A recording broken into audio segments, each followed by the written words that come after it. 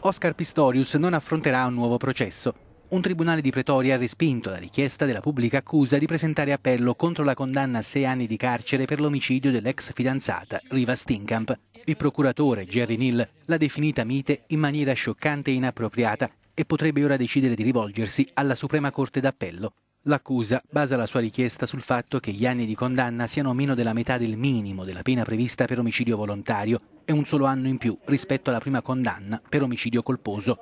L'ex atleta 29enne uccise la fidanzata la notte del 14 febbraio 2013 sparando in casa sua dei colpi di pistola attraverso la porta del bagno.